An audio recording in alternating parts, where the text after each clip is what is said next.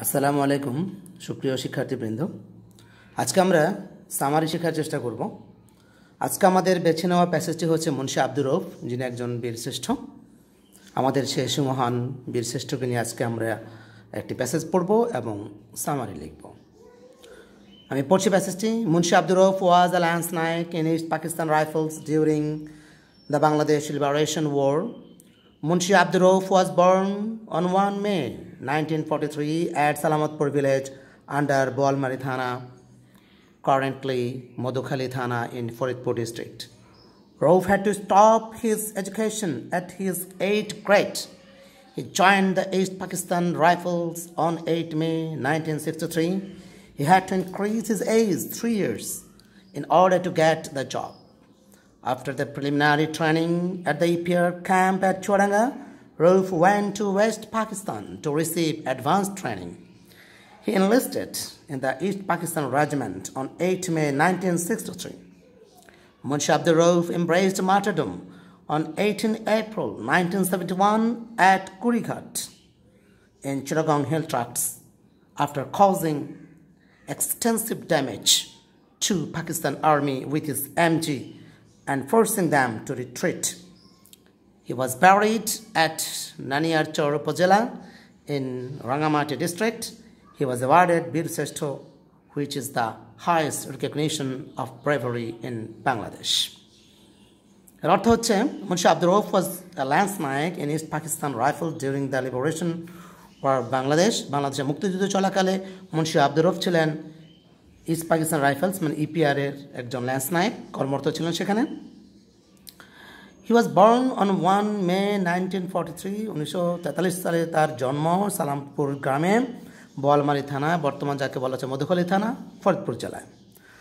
Rauf had to stop his education at eight grade অষ্টম শ্রেণীতে তার ক্লাস লেখাপড়া বন্ধ করতে হয় এবং তিনি যোগ দেন ইস্ট পাকিস্তান রাইফেলস আটই মে উনিশশো তেষট্টি সালে। হেট ইনক্রিজ হিজ এজ তাকে বয়স তিন বছর বাড়াতে হয়েছিল তার চাকরি পাওয়ার জন্য। After preliminary training at EPR প্রাথমিক প্রশিক্ষণ গ্রহণের পরে ইপিআর ক্যাম্পে চুয়াডাঙ্গায় রফ পশ্চিম পাকিস্তানে চলে যান উন্নত আর উন্নত প্রশিক্ষণের জন্য। তিনি তালিকাভুক্ত হন ইস্ট বাংলা রেজিমেন্টে উনিশশো তেষট্টি সালে। মুন্সি আব্দুর রব শাহাদাত বরণ করেন আঠারো এপ্রিল উনিশশো একাত্তর সালে কুড়িঘাট পার্বত্য চট্টগ্রামে।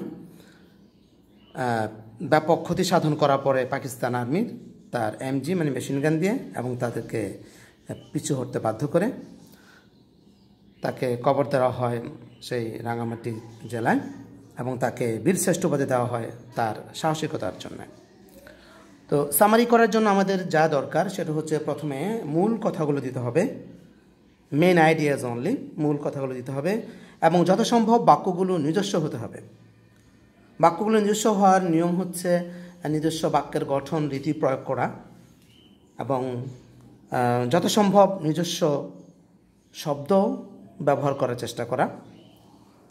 আর যেহেতু বড় না হয়, সাধারণত মূল প্যাসেজটি থেকে আমাদের যে সামারি সেটি ছোট হবে তিন ভাগের এক ভাগ বা তার একটু বেশি হলেও চলে। আমি প্যাসেজটি লিখেছি, দেখো তোমরা। The passage is about the life and the sacrifice or supreme sacrifice of Munshi Abdul. আমাদের যে প্যাসেজটি আজকে যে আমরা প্যাসেজটি পড়ছি প্যাসেজটি কী নিয়ে? প্যাসেজটি হচ্ছে মুন্সি আব্দুল রফের জীবন এবং তার সর্বোচ্চ ত্যাগ নিয়ে। তিনি যে সুমহান ত্যাগ করে গেছেন দেশের জন্য, এর জন্যই তাকে নিয়ে আজকে আমরা পড়ছি। তারপর তার সম্বন্ধে তথ্য দিলাম তার জীবন। He was born on May one nineteen forty three in Faridpur ছোট করে দিলাম। থানার কথা উল্লেখ করিনি, গ্রামের কথা উল্লেখ করিনি। তারপরে তাকে লেখাপড়া বন্ধ করতে হয়েছে এবং ইপিআরে যোগ দিতে হয়েছে, সে কথাটা আমি একসাথে বলেছি। Stopping his education at class eight ওখানে ছিল গ্রেট আমি দিয়েছি ক্লাস অষ্টম শ্রেণীতে লার লেখাপড়া বন্ধ করে he join the East Pakistan Rifles in nineteen sixty three date দেয়নি, শুধু সন দিয়েছে। He receive the primary education at Chuadanga and the advanced training in West Pakistan. সহজে দুটি কথা বলা হয়েছে। চুয়াডাঙ্গায় তিনি প্রাথমিক প্রশিক্ষণ গ্রহণ করেন এবং পশ্চিম পাকিস্তানে তিনি উন্নততর প্রশিক্ষণ গ্রহণ করেন। He join the East the East Bengal Regiment in 1963.